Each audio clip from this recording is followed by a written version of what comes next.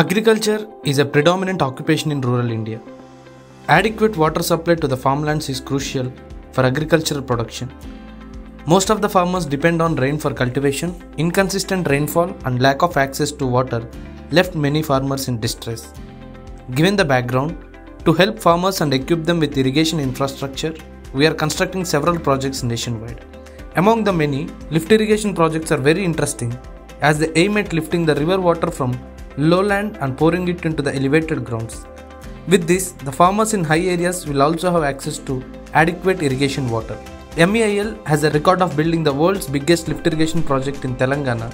Continuing the saga, we are building the Ukai irrigation project in Gujarat, which aims to lift River Tapi water to provide irrigation water to the farmers. We have almost completed the construction work. Soon the project will help irrigate vast tracts of land in Tapi. We are also constructing Gangadhar Meher lift irrigation project in Odisha to provide sufficient water to irrigate thousands of hectares in drought hit Bijepur, Sohela, and Barpali. Many water projects we are executing in the country bring joy to Annadatas.